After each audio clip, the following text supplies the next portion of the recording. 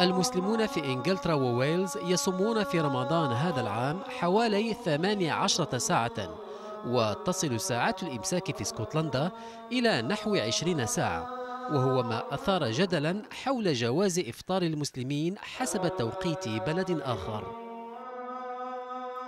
Sunset. Is visible and you can literally see it. So I think I think it's not there's no need for someone to go so far as to follow a foreign country for the uh, iftar for the ending of the fast. I think we should follow your local mosque. Uh, a few minutes of variations is fine. Certainly, people up north in Scotland will be fasting a little longer because the sunset will be slightly later.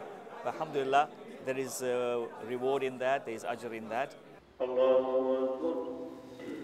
غالبية المسلمين لا يرون سببا منطقيا للإفطار المبكر خصوصا وأن الطقس معتدل في بريطانيا بعكس معظم بلدان شرق الكرة الأرضية التي يشتد فيها الحر.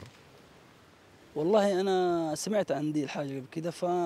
فالمفروض الإنسان اللي عايش في أي دولة يفطر بنفس توقيت الدولة اللي هو عايش فيها. يعني في ناس تقول لك إحنا عايشين في بريطانيا بس بس نبغى نفطر مع مكة. نفتح التلفزيون ونفطر مع مكة ده كلام غلط طبعا. لا يعقل أن يفطر الإنسان في بلد على أذان بلد آخر.